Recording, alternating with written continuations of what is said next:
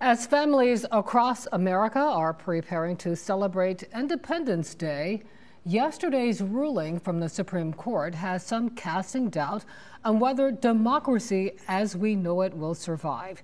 In a 6 3 ruling, the High Court determined the president has immunity from criminal charges if he is conducting an official act. 10 on your side spoke with a Democratic congressman from Virginia and a spokesperson for the Republican National Committee. Stolen is the word President Donald Trump uses to describe Joe Biden's presidential win. A mob in agreement storms the Capitol as fake electors are on standby. The criminal charges that followed January 6 prompted the High Court to weigh in. It said presidential power requires that a former president have some immunity from criminal prosecution. Democratic Congressman Bobby Scott represents citizens from the South Side to the peninsula.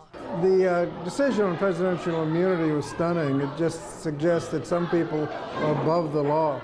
Uh, all the presidents before thought that they were subject to the law. A surrogate for the chairman of the Republican National Committee says the High Court's ruling is a victory for the separation of power. The decision yesterday does not put the President of the United States, whoever that might be, above the law. What the opinion yesterday actually said is absolute immunity is the law, or presumptive immunity is the law. And, says Town, don't believe the hype. Does the ruling from the Supreme Court mean that a president, for example, could call in SEAL Team 6 to assassinate an, an opponent?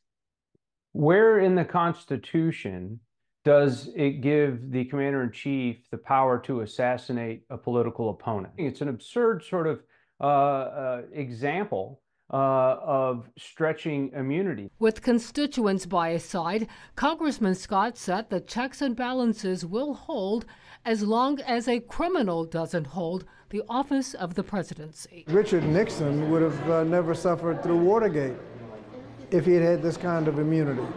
Uh, so um, uh, we'd hope that going forward we'll correct this. Uh, but uh, so long as we don't elect a criminal, um, I don't think it'll make much difference. The former president is seeking to have the verdict in the hush money case set aside in light of the Supreme Court ruling. The ruling makes it unlikely the J6 case will be heard before Election Day. Well, the ruling is the topic of our Wavy.com poll. We want to know do you agree with the Supreme Court's ruling on immunity? Right now, 59% say no. Head to Wavy.com slash poll to cast your vote.